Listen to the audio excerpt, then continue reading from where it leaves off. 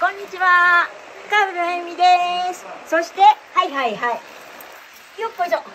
サイン芝居のサニーです。はい。サイン芝居のサニーが、また、石ちゃんのところにやってきました。石ちゃん、こんにちは。はーい。よいしょ。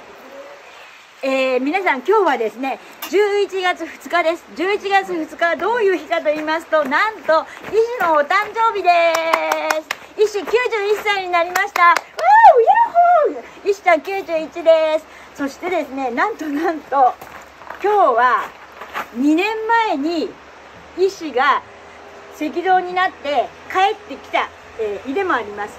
そうだそうだ皆さんにこれをちょい待ちサニーちゃんちょっと待って。はいはい。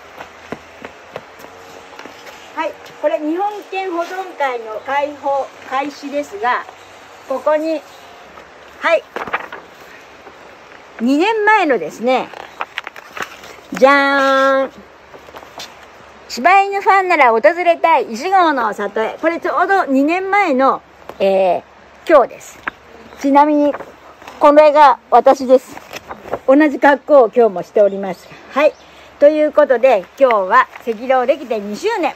去年はですね、えっ、と、やっぱり新型コロナウイルスの関係で、石ちゃんのお誕生会できなかったんです。かったんですが、今年から柴犬の里祭りということで、今年はできます。もうすぐしたらここに柴犬ちゃんたちが集まりますので、えー、来年の11月2日、柴犬ちゃん飼ってる方は、ぜひいらしてくださいね。それでは、石ちゃんに、石ちゃん、お帰りなさーい。